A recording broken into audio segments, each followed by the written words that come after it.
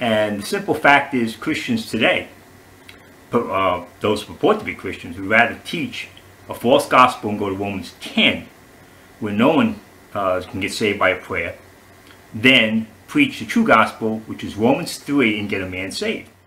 Alright, gonna do a video refuting Ed Pfenninger's claim that the true gospel is found in Romans 3, but Romans 10 preaches a false gospel.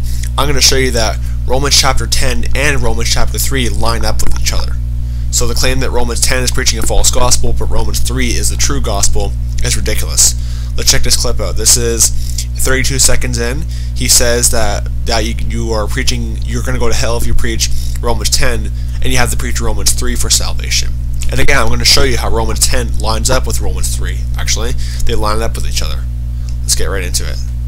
And the simple fact is, Christians today, uh, those who purport to be Christians, would rather teach a false gospel and go to Romans 10, where no one uh, can get saved by a prayer, then preach the true gospel, which is Romans 3, and get a man saved. And so you see right there, he says that Romans 10 is a false gospel, but Romans 3 is the true gospel. Well, let me show you something on that. Romans chapter 10, verse 4. It says, For Christ is the end of the law, for righteousness to everyone that believeth. Verse 5. For Moses describeth the righteousness which is of the law, that the man which doeth those things shall live by them. Verse 6. But the righteousness which is of faith speaketh on, speaketh on this wise, Say not in thine heart, Who shall ascend into heaven, that is to bring Christ down from above. Now I'm going to show you how this lines up perfectly with what is said in Romans 3. Because again, it talks about how Christ is the end of the law to everyone that believeth. Okay? Romans chapter 3, verse 23. For all have sinned and come short of the glory of God. Verse 24. Being justified freely by his grace through the redemption that is in Christ Jesus.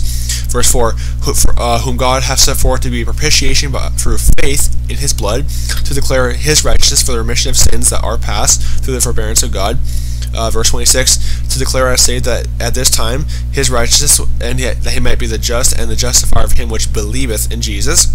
How is this any different than what Paul said in Romans 10? But let's keep reading. Verse 27, look at this. Where is boasting then? Is it excluded by what law? By of works? Nay, but by the law of faith. Verse 28, therefore, therefore we conclude that a man is justified by faith without the deeds of the law. Hmm. That's exactly what Paul said in Romans chapter 4, or Romans 10 verse 4. For Christ is the end of the law, for righteousness which everyone that believeth. You know, for the righteousness, but the righteousness which is of faith. It lines up perfectly with Romans chapter 3. You see, because Romans 10 is not a false gospel. Romans 3, I mean Romans 10 and Romans 3 line up perfectly. Romans 10 is still for us today.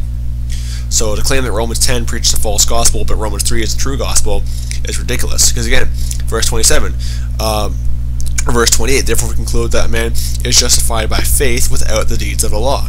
And again, I'll, I'll show it again. Uh, back to verse 4. Therefore, or it says, For Christ is the end of the law, for righteousness, righteousness to everyone that believeth. They line up with each other.